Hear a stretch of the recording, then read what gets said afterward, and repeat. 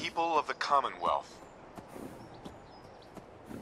For years now, you have suspected that the Institute still exists. That we are among you. It is true. But it is not the whole truth. We are here. And we are the future. Our superior technology represents the future of the Commonwealth. Today, we activate our nuclear reactor, ensuring that we will persevere long after the world above ground ceases to exist. Ensuring that mankind has a future.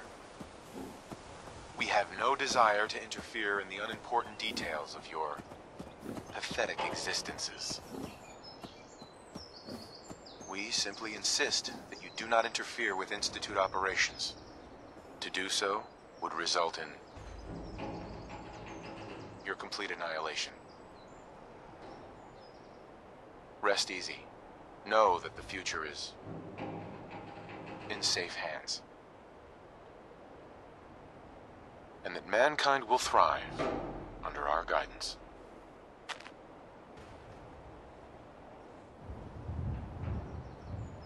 So, uh, probably the biggest news in, well, ever?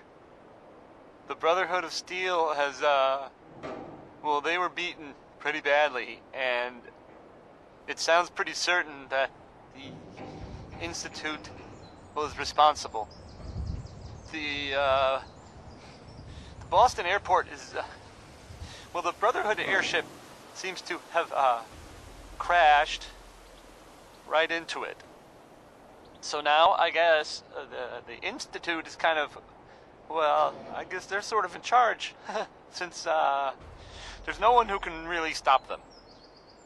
We'll just hope that uh, hope that message they sent was true and that they'll, you know, mostly leave us alone. Okay. So, in the meantime, escapism. Just play some music.